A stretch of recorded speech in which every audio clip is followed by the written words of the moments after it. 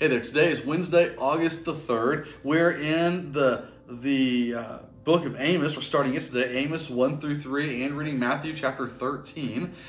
I don't know if you're familiar with Amos and some of the other prophets that we're beginning to read through now, but it's not a particularly happy passage. It's just not. If you skim through and look at the little bold headings all through Amos, even, you see things like, like uh, words like judgment, judgment, witnesses, You've not returned to God. Calls to repentance. Woe. Locusts. You God abhors the pride. All these things. This is not good. This is not good at all. Amos, I joked earlier. Uh, I was talking to Keenan Klein, our creative arts minister, just before starting this video here, and I said, Amos, chapters one through three. You all stink. The end. Uh, that's kind of what's going on. The northern kingdoms of God's people, the northern kingdom has just not done good. They've turned away from God and they struggled.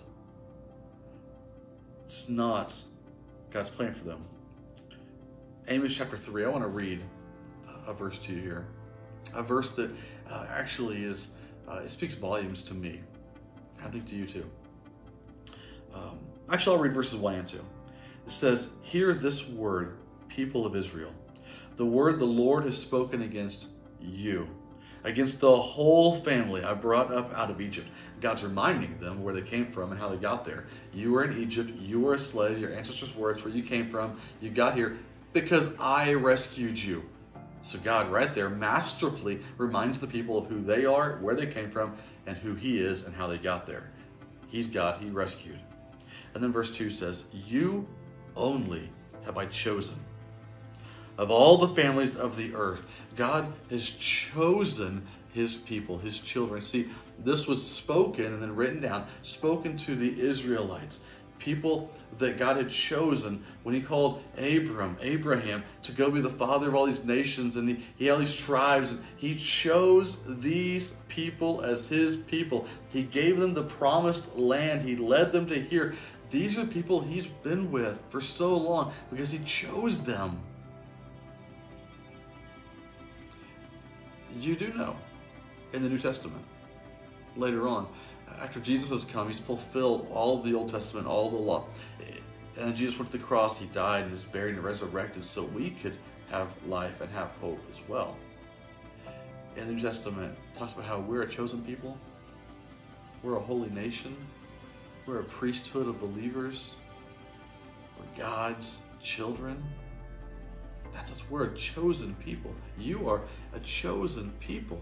Even your neighbors, your family that don't know Jesus, right? They're not living like Jesus. They're a chosen people. God has chosen them. He chose to send his son to the cross for you and for them. Just not everybody's realized it yet. Verse 2, Amos 3. You only have I chosen, all the families of the earth. Therefore, I will punish you for your sins. It's not what I thought was coming.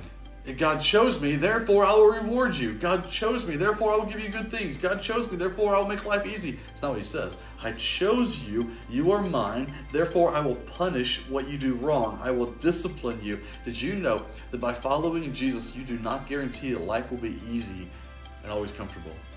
You don't.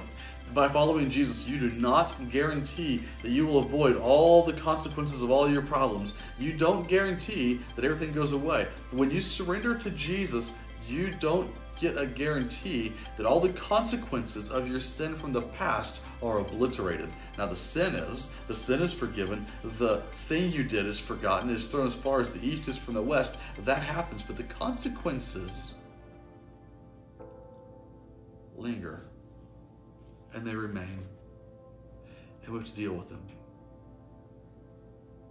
God looks at you and me, just like the people of Israel here. I've chosen you. You're mine. I love you. I redeem you. I made you new.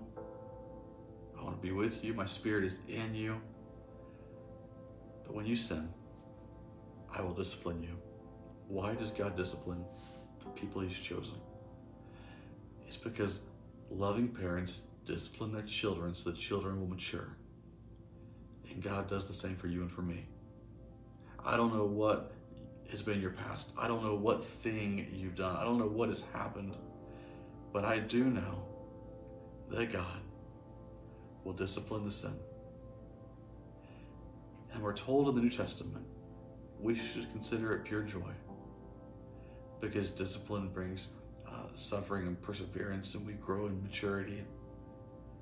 So, whatever you've done, today I invite you, challenge you to, to change the way you think, to repent about it, to confess it, endure the discipline, come out mature, and lead others to the Father that's chosen them as well.